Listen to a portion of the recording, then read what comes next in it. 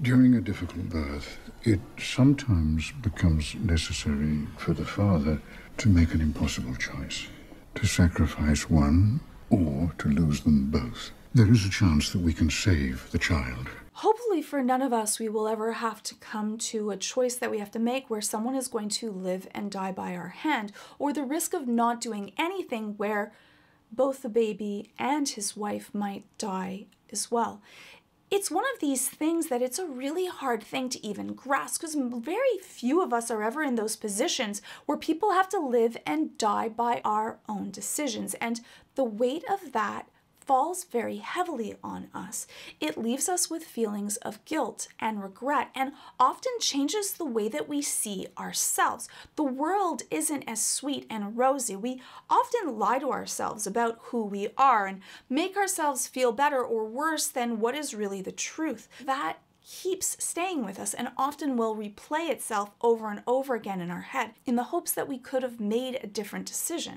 And that feeling of regret and that survivor's guilt is a horrible thing to have to deal with day to day because you can't even share it because no one else can understand really how you feel. So you deal with it all alone.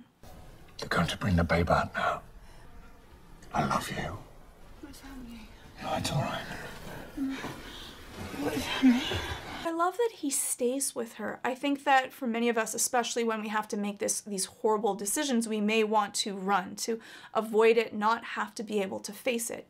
But he stays by her side to try to comfort her, even though she's going to have to go through something so horrible that is by his decision. And that feeling of her being afraid and not really knowing what's happening, it's just so palpable. I think that most of us could really feel that loss of power when they pulled her down from the bed against her will without even preparing her.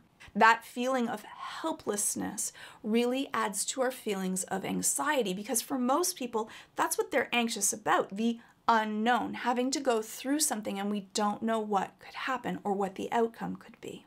It's all right. Please. Don't be scared. Don't be scared. They're going to break the paper. Oh, no! No! I'm making the first incision. And for him having to go through that, he's made this decision and it's kind of set in stone. Now, I don't know what I would have made if I was in his position.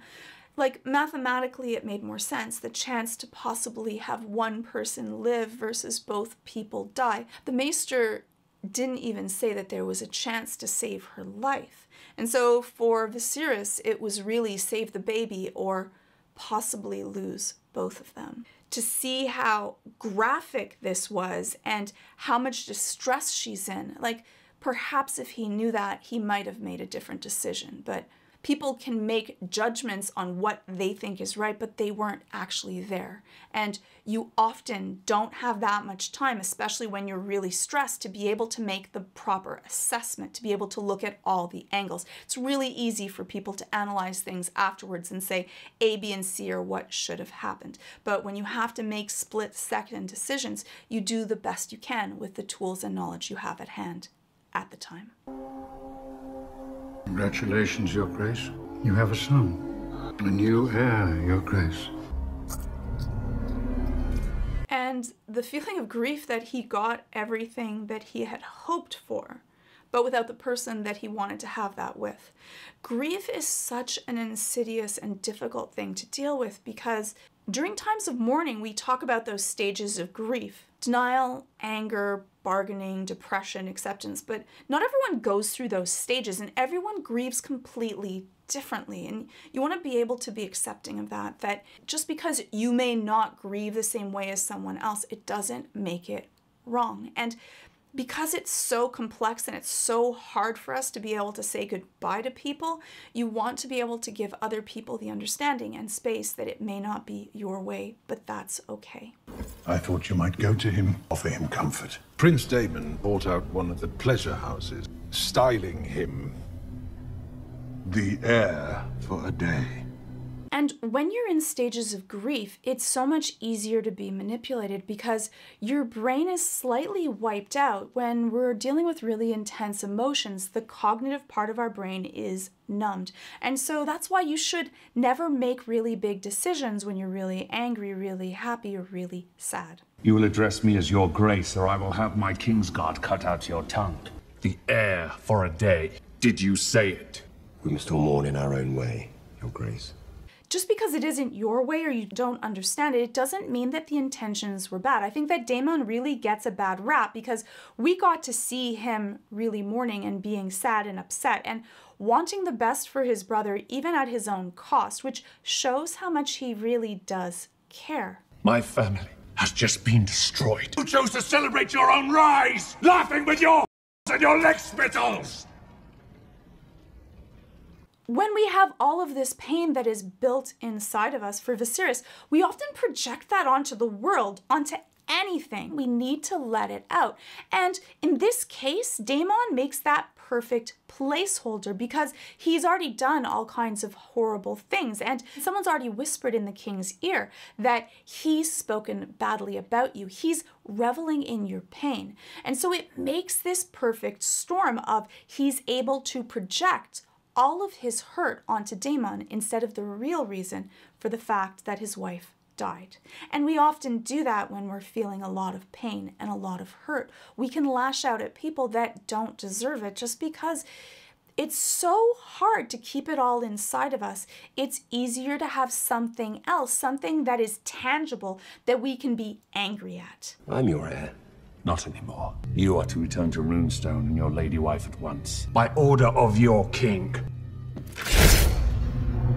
And it goes without saying, because you're in so much pain, because your brain is foggy, you should never be making really big decisions when you're in periods of intense emotional distress. Sometimes you're going to regret them and you can't turn back upon them. He set something in motion that's going to be really hard to be able to pull back.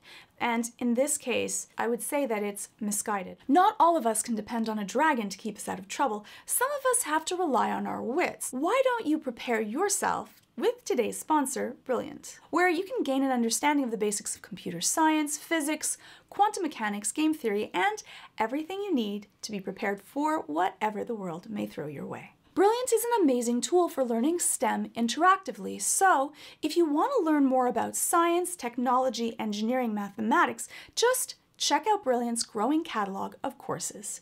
They're specifically crafted to help you learn concepts by working through them yourself in visual, hands-on ways, and all the lessons are presented in bite-sized pieces so you can learn at your own pace, no pressure. And if you ever feel stuck, Brilliant has in-depth explanations that help you break down the material even more. Like their course on logic with challenging problem solving exercises, you'll construct those critical thinking skills that are the basics for mathematical reasoning and scientific thinking. Open your eyes to the world around you by solving puzzles with science, and in it you'll explore the laws of physics and principles of engineering and learn the rules as you play.